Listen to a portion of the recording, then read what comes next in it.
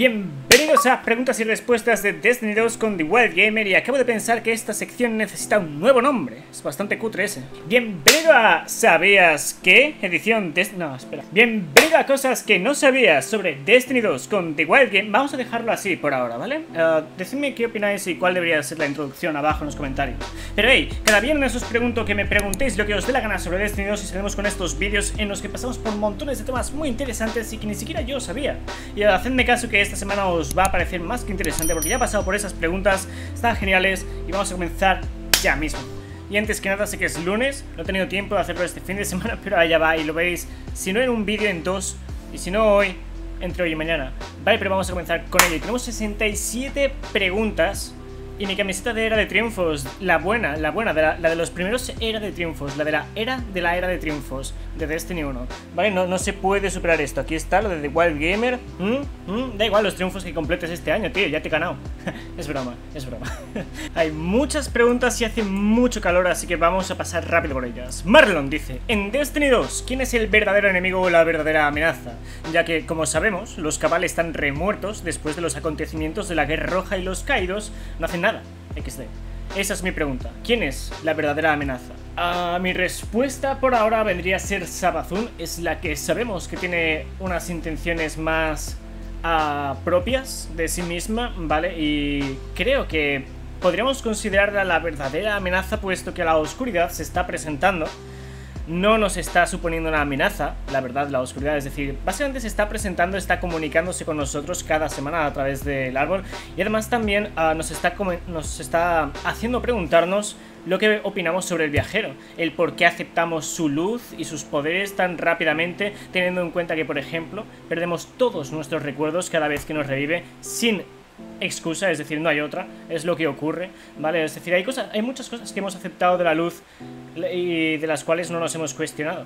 ¿Vale? No nos hemos preguntado el por qué. Es decir, somos, somos, somos chavales que están jugando un juego, ¿vale? Estamos jugando las habilidades que hay, tío, ¿vale? No nos preguntamos esas cosas, pero si nos paramos a pensar en el lore, pues sí, ¿vale? Así que quizá el viajero no es tan bueno como lo pensamos, la oscuridad pues tampoco lo sabemos, así que mi respuesta vendría a ser Sabazun por ahora, ¿vale? Incluso puede que el viajero, ¿vale? Porque como os digo, es del que menos sabemos.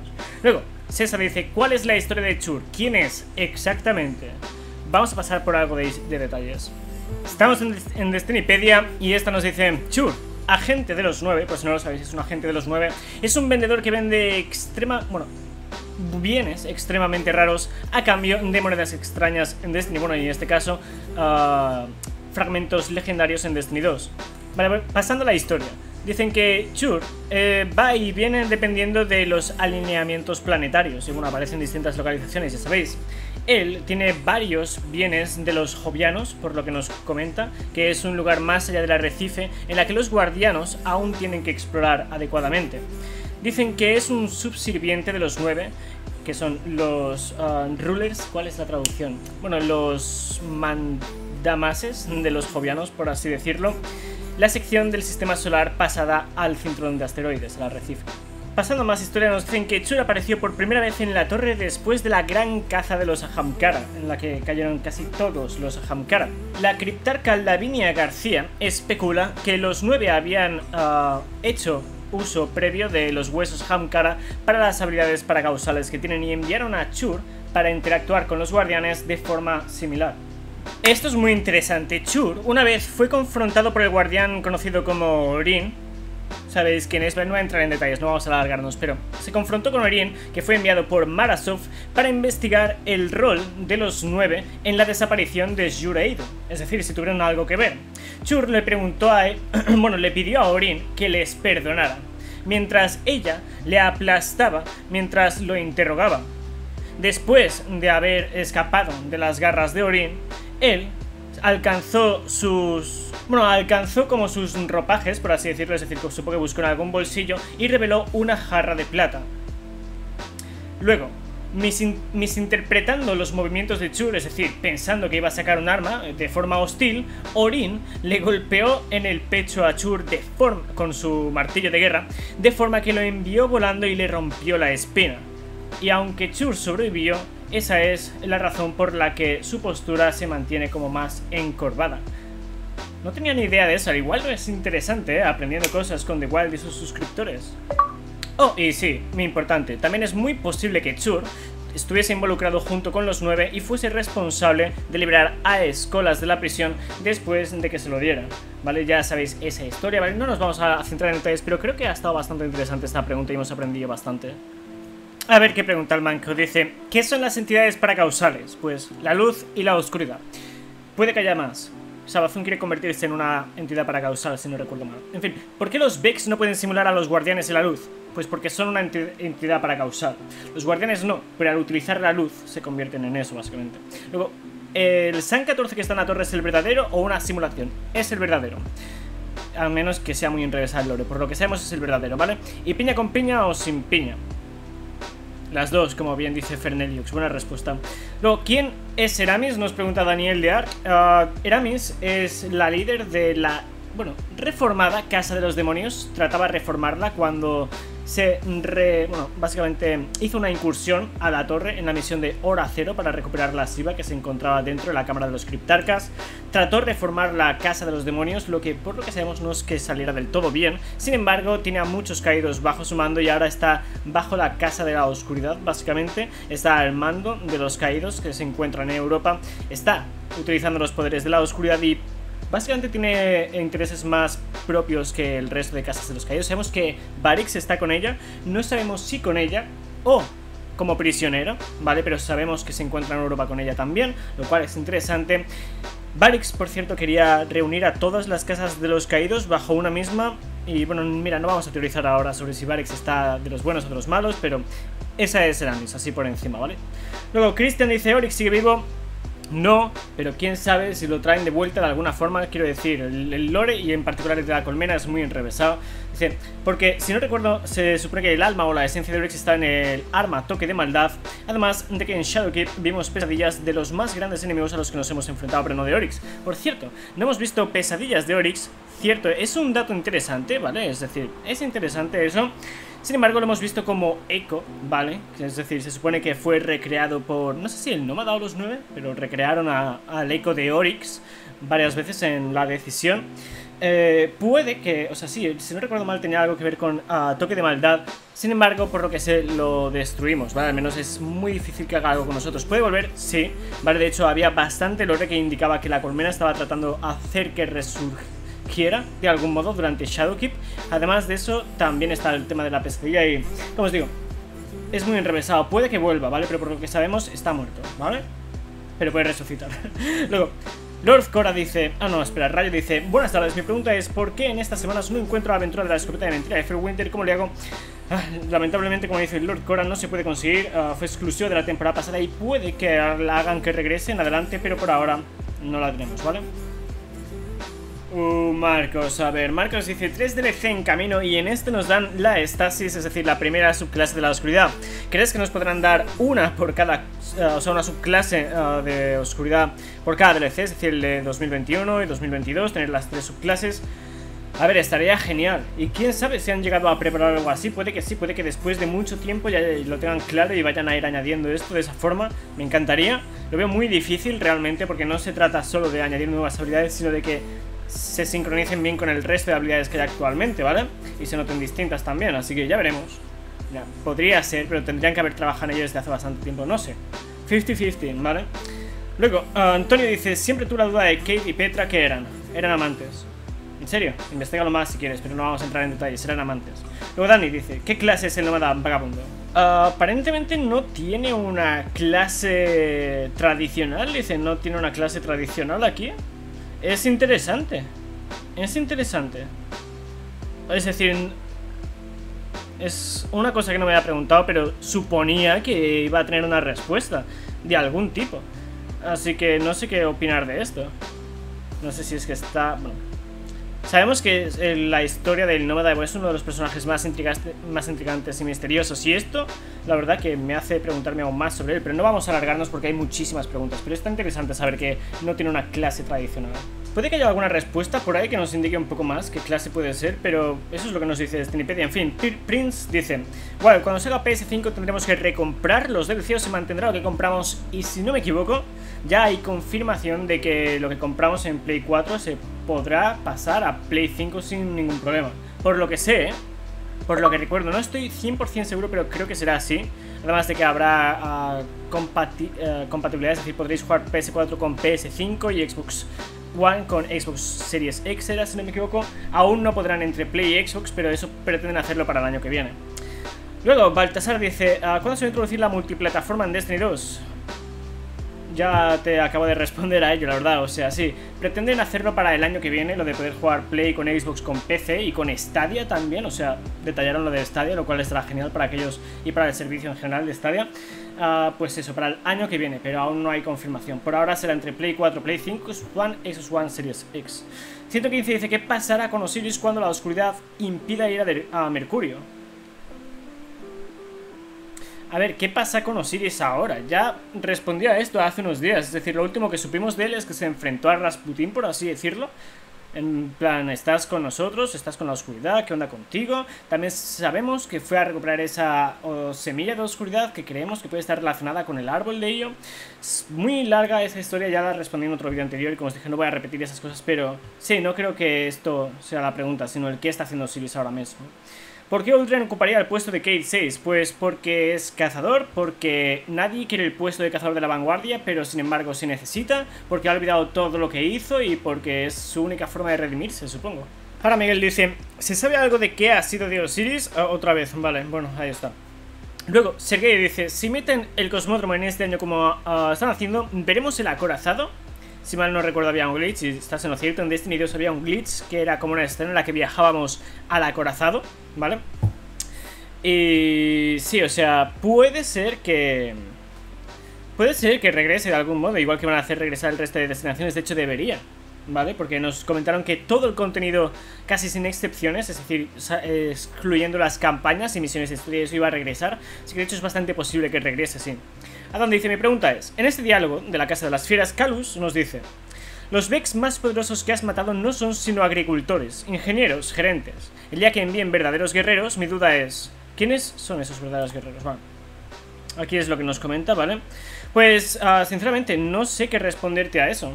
Por ahora, lo que sabemos, uh, los más chungos, los más importantes al menos, son los que defendían el Jardín Negro, la mente imperecedera que reconstruía el Jardín Negro, y esa, esa especie de facción de los Vex que defendía el Jardín Negro y estaba más ligada a la oscuridad.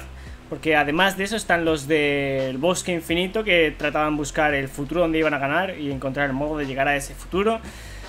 Creo que no hemos visto nada más chungo que eso. Panoptes era el líder de, aquello que estaba ocurriendo en el bosque infinito. Ay, sí, bro, Curia, ¿vale? Hay que tener en cuenta Curia. Si Curia es capaz de simular los poderes de Oryx, de poseer, imagínate que es capaz de hacer otra serie de Vex con las mismas o habilidades similares. Es decir, puede que hayan Vex muy chungos por ahí, por ahora. Más chungo debería ser Curia, supongo, por lo que sabemos. Dark dice, ¿Kate puede ser revivido en la oscuridad? Ah, ¿Con la oscuridad? Sí. Uh, en principio no va a volver, nos lo hicieron, o sea, nos lo dejaron claro como pudieron, ¿vale? Todo lo que pudieron. Así que en principio no va a regresar, pero mira, quién sabe. Yo sigo esperando que vuelva y aunque sea oscuro, yo quiero que vuelva. Henkolets dice, ¿cómo se accederá al faro de las pruebas de Osiris cuando Mercurio se vaya? ¿Y existe una posibilidad acerca de que Resira Sir vuelva, ya que su espectro no está muerto, según el lore? Además, su cadáver no se volvió cenizas cuando Shin disparó. Uh, vale, Ah, no sé si Rasil Asir puede volver, es, decir, todo el lore respecto a las resurrecciones en Destiny es muy relativo, ¿vale? Es decir, quién sabe. creo que no hay nada que nos apunte que va a regresar, pero podría, supongo. y luego, en cuanto al faro de las pruebas de Osiris cambiará, dudo que vayamos a Mercurio si va a desaparecer, pero algo harán. Un faro improvisado por ahí, yo que sé, pero va a haber pruebas, por lo que sabemos, así que... Luego Oscar dice, ¿cuál es la mejor arma exótica hasta la fecha? Non Terrae Plus Ultra, ¿vale? Es mi favorito. Luego, yo que sé, podría ser Galahorn por lo que el, impacto que causa en la comunidad. Quiero decir, si dijeran que vuelve Galahorn con el próximo DLC, igual se reservarían la mitad más, ¿vale? Porque Galahorn es la. Mitoclasta también de los favoritos. Hay muchos, la verdad. Hice un top, ¿vale? Míratelo. Carlos dice, hace poco vi un meme de cómo Omar pasó de ser el... Pasé de ser él a convertirse en la ametralladora xenófago. ¿Cómo fue eso posible? Creo que hice un vídeo de lore sobre esa ametralladora en particular. So, el lore del arma nos dice que, bueno, se enfrentó a la oscuridad y resumiendo, la colmena fue quien lo transformó en ese arma. Es decir, estaban tratando de drenar su luz, pero además de drenar su luz, también extrajeron más que eso, su alma. Es decir, lo extrajeron al completo y lo transformaron en ese arma uh, debido a bueno, los experimentos que hace la colmena, ¿vale? Entonces, uh, en verdad no está rayado Omar, ¿vale? Nos comenta que ahora el fuego que hay dentro de él, pues como que brilla más que antes, es decir, parece que no está rayado con el tema. Uh, supongo que hasta que abandonemos el exótico, que yo ya lo he hecho, así que supongo que Omar está un poco aburrido ahora, pero sí. La colmena lo transformó en el arma. Ahora, CHM dice, al saber que la subclase será de hielo y tomando en cuenta que el arma corazón gélido es de arco, ¿te hace pensar que en verdad esa subclase nunca estuvo en los planes de Bungie, sino hasta ahora? Que bueno, querrás decir que, ya habían pensado en ella.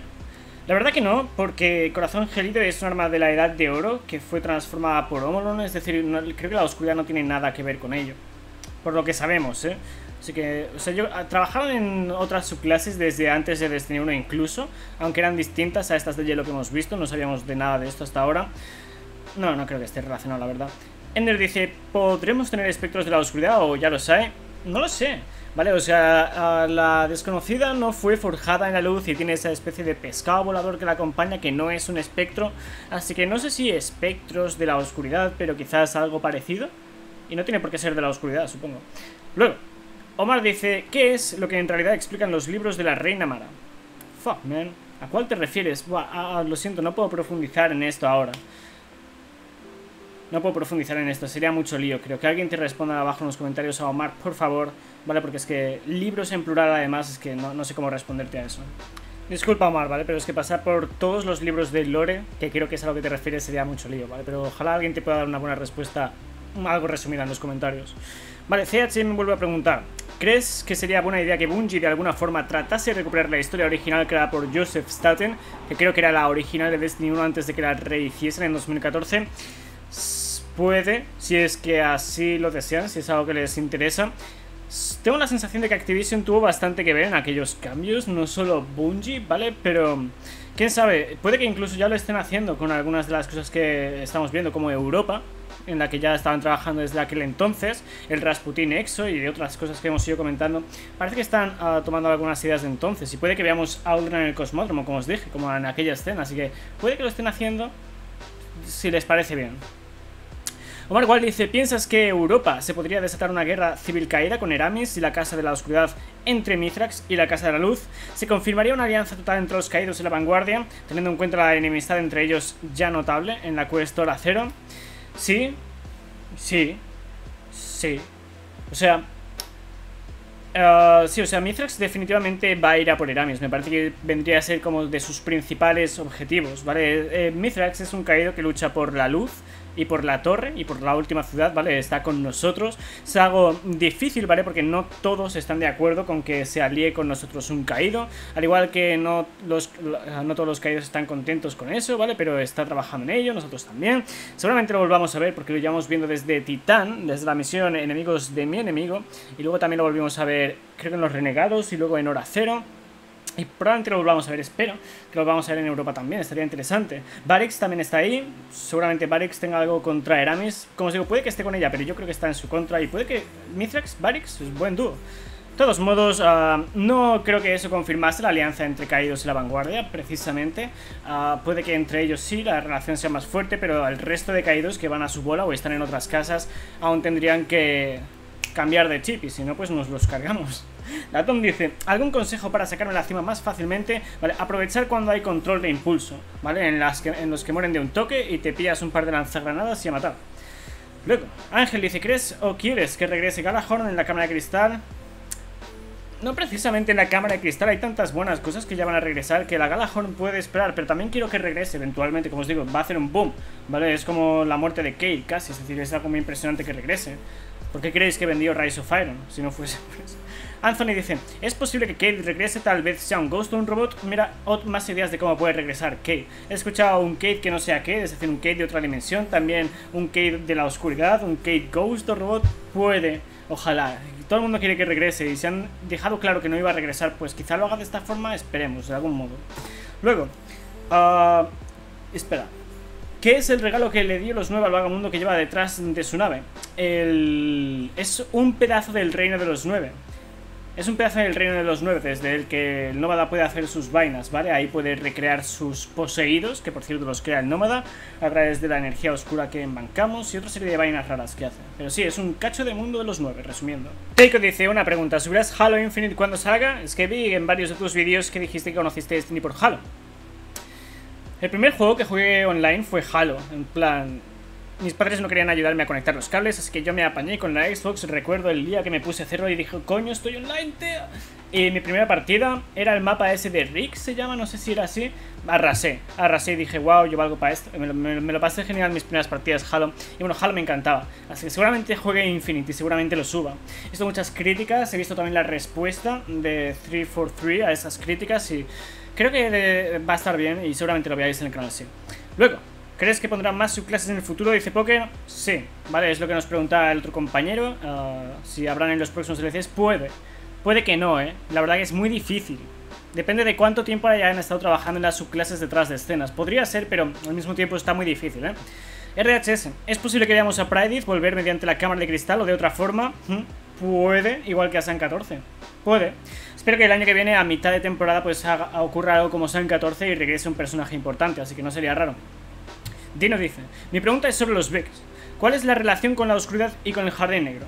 Bueno, pues los Vex encontraron en la oscuridad algo que no han encontrado en ninguna otra cosa, es decir, no le rinden cuentas, o sea, no, trabajan para nadie que no sean ellos y su futuro en el que venzan, ¿vale? Y parece que en la oscuridad encontraron un motivo, ¿vale? Es decir, como un motivo para vivir, ¿vale? Un motivo para hacer algo, ¿vale? Y por eso le rezan, es como que esperan sacar más información de ahí, es como si supiesen que la oscuridad les puede ayudar a alcanzar el objetivo que quieren cumplir.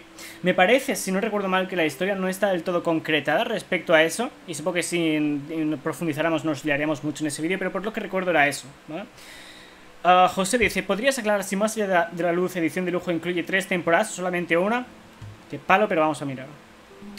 Ahí nos dice que sí, que tiene acceso a las temporadas de la 12 a la 15, es decir, 12, 13, 14 y 15, cuatro temporadas del Yugo. Braulio dice, ¿es posible que sigamos peleando contra las pesadillas en los nuevos durante... Espera, ¿en los nuevos durante las próximas temporadas? Ah, sí. Vale, no van a retirar la luna, así que sí. No sé si habrá nuevas, por lo que sabemos... Ah, sí, pues seguramente sigan habiendo pesadillas, no creo que hayamos zanjado ese tema todavía, ¿vale? Resumiendo. Benjamin dice, ¿cómo Rasputin va a tener cuerpo? ¿Podrá ser un guardián? Ya que pensándolo bien, Winter se convirtió en guardián. Ah, Winter era Rasputin. Rasputin era Felwinter hasta que murió por primera vez y lo resucitaron como guardián. Entonces como que Rasputin se separa de Felwinter, pero había cumplido su objetivo, que era adquirir sentimientos y emociones a través de Felwinter para valorar si sus morales estaban alineadas con las nuestras. Así que sí. Y además, uh, Ana lo meterá en un cuerpo exo, o al menos lo intentará por lo que sabemos este fin de temporada. He hecho un vídeo sobre ello, rescate de Rasputin, chécalo en mi canal. Luego... Uh, Sunbreaker dice, ¿podrá Rasputin o cualquier otra IA utilizar rasivo para atacar la oscuridad o las pirámides? Sí, igual que la ha hecho contra nosotros de algún modo. De todos modos, Rasputin está echando la siesta, por lo que sabemos, ¿vale? Cabus dice, he escuchado que San 14 de nuestra línea está muerto y que el que tenemos actualmente es de otra línea temporal que hicimos que luchara contra los Vex para sobrevivir. ¿Eso es cierto? Me estoy liando. No juego la temporada de San 14. Saludos, juego.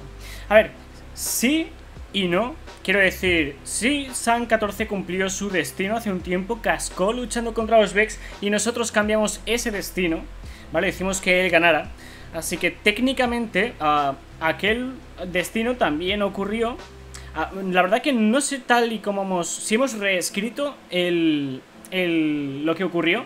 Es decir, hemos guardado por encima del mismo archivo o hemos creado otro archivo, otra línea temporal en la que vive. Y en ese caso sí sería técnicamente otro. Aunque de todos modos partiría del San 14 original, de aquel momento. Es complicado, ¿vale? Quizá alguien te pueda responder mejor si sabe más de vainas temporales y... Ahora no, no recuerdo el nombre de estas cosas, pero... Más tecnicismos estos. Luego, ¿cómo puedes sacar la cima de la montaña de forma rápida? ¿Otra vez, bro? Espera, no sé si era el mismo de antes. Vale, bueno, pues uh, control de impulso. ¿Vale? Los matarás en un toque con lanzagranadas, así que ponte un par. Te recomiendo el que venía en la um, temporada de los dignos, secundario, que lanza una llamarada y ponerte... Ah, bueno, el león guerrero también va bien. Ponte lanzagranadas también la colonia, ¿vale? Y sácales partido.